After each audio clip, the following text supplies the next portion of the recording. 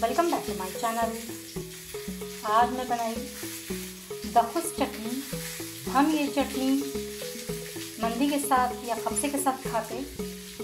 तो अभी हम देखेंगे किस तरह से बनी चटनी क्या क्या इंग्रेडिएंट्स लगे। अभी हम स्टार्ट करेंगे चटनी बनाना। चटनी बनाने के लिए हम लेंगे तीन टमाटर लेंगे। आधा नींबू लेंगे, नींबू का जूस डालना है। एक बंच, यानी फुल बंच पुदीना लेंगे, फुल बंच धनिया लेंगे, तीन लहसुन की कली लेंगे, तीन हरी मिर्ची लेंगे, नमक लेंगे हम टेस्ट के अकॉर्डिंग इन सबको अच्छे से ग्राइंड करना है हमें। चलिए अभी हम ग्राइंड कर लेंगे, टमाटर को कट कर लेंगे अभी। चलिए टमाटर को सारे हरा मसाले को डाल के पीस लेंगे हम ग्राइंड कर लेंगे अच्छे से। पीस लेंगे।